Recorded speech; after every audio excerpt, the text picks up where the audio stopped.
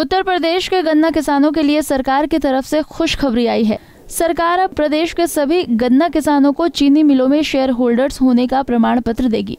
इतना ही नहीं, सरकार की तरफ़ से सभी गन्ना किसानों को आधार कार्ड की तर्ज पर 14 अंकों का एक ग्रोवर कोड देगी। इससे गन्नों की फर्जी खरीद पर रोक लगेगी। प्रदेश में लगभग 45 लाख गन्ना आपूर्ति किसानों को यूनिक ग्रोवर कोड विकसित करके आवंटित किया गया है। इसमें बिचौलियों व गन्ना माफियाओं का सफाया होगा। हमने एक यूनिक ग्रोवर का ग्रोवर कोड भी आवंटित किया है।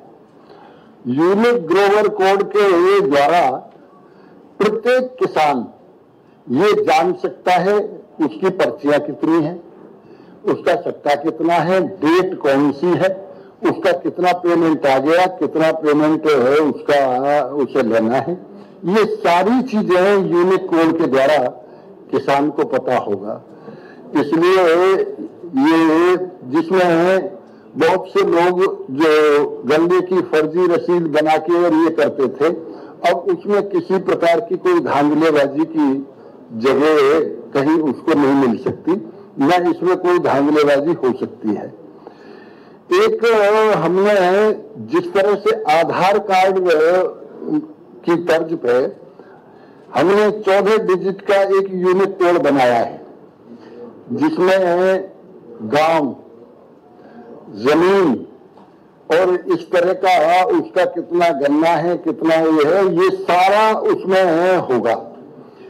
वो किसी भी प्रकार का कहीं भी यदि कोई गड़बड़ी, कहीं आशंका भी करता है, मान लो कोई व्यक्ति, क्योंकि जालसाजी चल रही है कोई व्यक्ति यदि उसमें भी गड़बड़ी करता है, जैसे एक मान लो मैंने बताया अभी कि ज़मीन उसमें दो एकड़ है और बारह एकड़ है, वो कहीं हेरा फेरी कर दिए तो तुरंत हम यूनिक कोड से।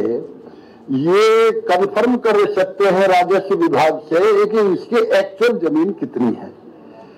इसलिए ये यूनिक कोड के द्वारा जो हमने आधार कोड की तर्ज पर चौदह डिजिट का यूनिकोड बनाया है, इसमें किसी प्रकार की कोई आशंका गड़बड़ी की नहीं हो सकती। दरअसल योगी आदित्यनाथ की सरकार 2.0 के सभी मंत्री अपने विभागों के 100 दिन पूरे होने पर किए गए कामों की जानकारी दे रहे हैं। शुक्रवार को लोक भवन में प्रदेश के चीनी उद्योग एवं गन्ना विकास मंत्री लक्ष्मी नारायण चौधरी ने प्रेस कॉन्फ्रेंस करके कहा कि किसानों को 8000 करोड़ के गन्ना मूल्य भुगतान का लक्ष्य रखा गया था। जिसको लेकर प्रदेश के गन्ना किसानों को 12,530 करोड़ का भुगतान किया गया। ये भुगतान निर्धारित लक्ष्य के लगभग 55 प्रतिशत से अधिक है। वर्तमान सरकार के मात्र पाँच वर्षों के कार्यकाल में रिकॉर्ड एक लाख छिहत्तर हज़ार छह सौ छियासी करोड़ से अधिक का भुगतान हुआ है। सौ दिन का जो हमारा लक्ष्य था गन्ना भुगतान का हमने आठ हज़ार करोड़ रुपए का लक्ष्य रखा था। कि सौ दिन में जो अब तक भुगतान हुआ, इसमें हम आठ हज़ार करोड़ रुपए का भुगतान करेंगे। इसके विपरीत हमने सौ दिन में बारह हज़ार पाँच सौ तीस करोड़ रुपए का भुगतान करके पचपन प्रतिशत लक्ष्य से अधिक भुगतान हमने किया है किसानों का। और पिछले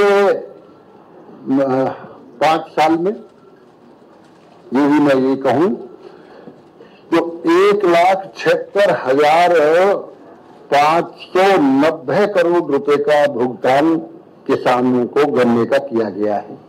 मंत्री लक्ष्मी नारायण चौधरी ने कहा कि पहली बार सरकार ऐसे किसानों को स्वामित्व होने का एहसास कराएगी। पचास दशमलव एक शून्य लाख गन्ना किसानों को शेयर प्रमाण पत्र दिए जाएँगे। इसका शुभारंभ मुख्यमंत्री योगी आदित्यनाथ इसी माह करेंगे। पिछले पचास साल से शेयर सर्टिफिकेट्स इनके पास नहीं है।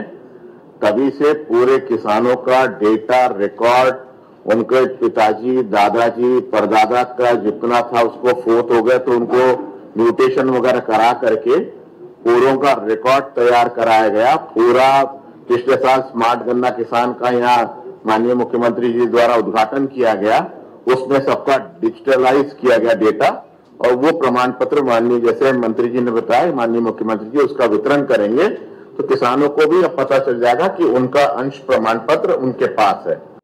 लक्ष्मी नारायण चौधरी गन्ना विकास मंत्री, वहीं किसानों को हुए भुगतान के बारे में मंत्री ने कहा। बजाज ग्रुप के चीनी मिलों ने हर वर्ष करीब 36 प्रतिशत गन्ने का भुगतान कर दिया है। बाकी धन का भुगतान सरकार कराएगी। अगले पेराई सत्र के पहले सभी किसानों को शत प्रतिशत भुगतान होगा। किसानों के उत्पादन लागत में कमी लाने व पर्यावरण संरक्षण के लिए एक लाख दस हज़ार हेक्टेयर गन्ना क्षेत्रफल में तरल नैनो यूरिया का छिड़काव कराया गया है। जितनी शुगर मिल है। प्राइवेट उद्योग प्राइवेट की बात कर रहा हूँ प्राइवेट मिल है। लेकिन उत्तर प्रदेश का जो किसान गन्ना देता है, वो सरकार पे भरोसा करके देता है। अभी एनपीए में उनकी मिल गई है, अभी एनसीएलटी में तो नहीं गई, लेकिन आप निश्चिंत रहिए, किसी भी किसान का एक पैसा नहीं मारा जा सकता एक एक पाई का भुगतान होगा। बजाज मिल अब तक लगभग 36 परसेंट भुगतान इस साल के सीज़न का कर चुकी है। 36 परसेंट भुगतान उनकी चौदह मिल है। उन सबका 36 परसेंट कुल टोटल भुगतान हुआ है।